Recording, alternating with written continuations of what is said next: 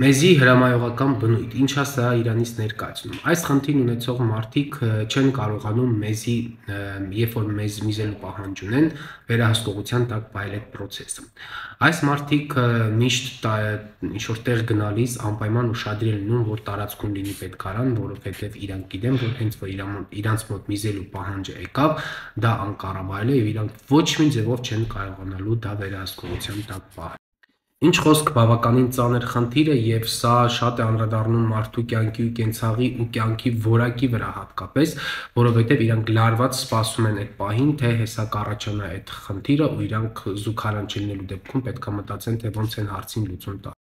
Խնդրի պատճառները տարբեր են։ Հաճախ մարդիկ մինչև վերջ հետազոտված չեն, նույնիսկ հասարակ սովորական մեզի բակտերիոլոգիական հետազոտություն, սեռավարակների բորբոքումների հետ կապված հետազոտություններ անցկացված չի, որտեղ մարդիկ մտածում են իսկ ինչ կապ ունի մեկը մյուսի հետ, բա ինչը կապ ունի։ Ցանկացած տեսակի բորբոքային process կարող է առաջացնել միզուղիներում